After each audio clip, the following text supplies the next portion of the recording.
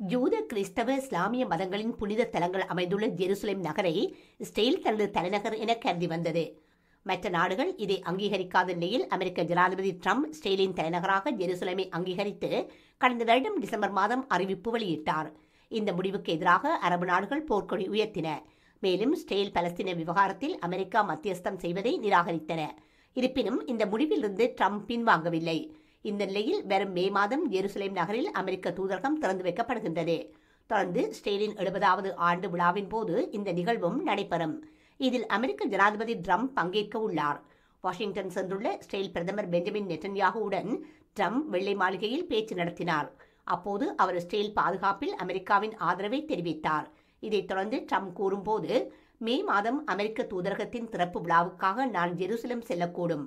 அதை நாங்கள் எதிர்பார்த்துக் கொண்டிருக்கின்றோம். அதை விரைவாக கட்டி முடிக்க இருக்கின்றோம்.